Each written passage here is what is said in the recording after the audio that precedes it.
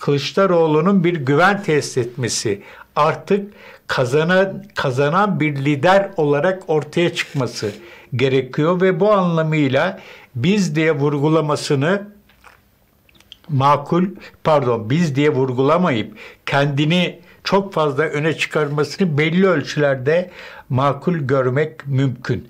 Kılıçdaroğlu böyle diyerek Erdoğan'ı doğrudan muhatap almayıp kendisinden hep bir takım vaat vaatlerde bulunmasının Erdoğan'ı çok daha fazla öfkelendirdiğini anlıyoruz. Bu çünkü her şeyden önce bir özgüven gösteriyor. Şunu yapacağım, bunu yapacağım dediğiniz zaman kendinize güven gösteriyorsunuz.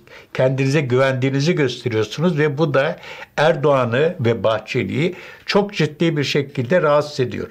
Bu anlamıyla da e, ben demesinin e, bir bilinçli tercih olduğunu ve bir anlamıyla da isabetli olduğunu düşünüyorum.